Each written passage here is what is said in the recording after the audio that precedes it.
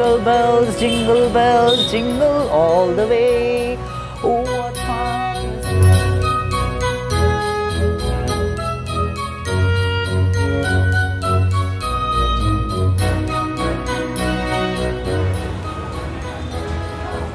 Hello नमस्कार दोस्तों मैं हूँ एमजे मोहित और आप मुझे देख रहे हैं जमशेदपुर टेनमेंट पर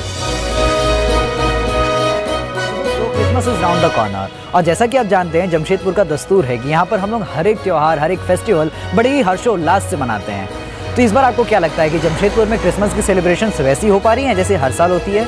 फिकर नॉट मैं आपको लेकर चलता हूँ अपने इस सफ़र में, जहाँ पर मैं आपको दिखाऊँगा जमशेदपुर में क्रिसमस की तैयारियाँ। Riding and lighting on Jamshedpur. आओ, साक्षी मार्केट का चक्कर लगाते हैं।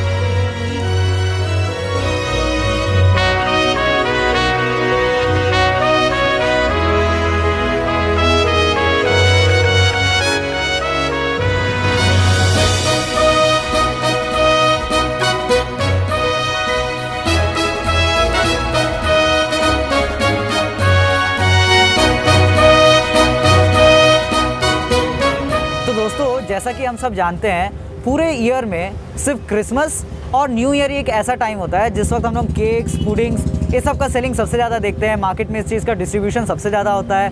इस चीज़ को लोग सबसे ज़्यादा खरीदते हैं और अपने हर सेलिब्रेशन में इसका इस्तेमाल ज़रूर करते हैं। लेकिन आपको क्या लगता है दोस्तों, इस साल 2020 में कोविड 19 के चलते क्या चेंजेस आई होंगी? क्या आपको लगता है केक्स का जो भी सेलिंग हुआ, इस साल ज़्यादा हुआ या कम हुआ? आज इसी चीज़ के बारे में बात करने के लिए हमारे बीच आज़ाद अंकल आए हैं। आज़ाद सर से बात करते हैं। आज़ाद सर क्या सोचते हैं? पिछले साल के मुकाबले में इस साल बहुत कम सेल हुआ है कोविड 19 की वजह से। और आदमी लॉकडाउन में जो आया वो फंस गया।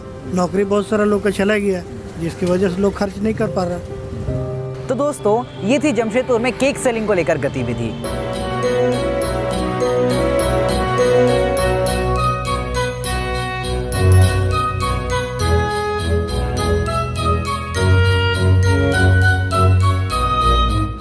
यीशु मसीह के जन्मदिन पर मनाई जाने वाली इस फेस्टिवल को हर कोई अपने घर में बड़ी ही धूमधाम से सेलिब्रेट कर रहा होगा केक खाकर।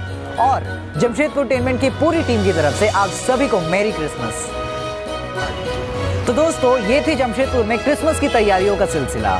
और इसी मज़ेदार सफ़र को जारी रखने के लिए मैं M J Mohit of camera Saluka के साथ मिलता हूँ अगले वीडियो में। तब तक के लिए if you like this video then do like share and comment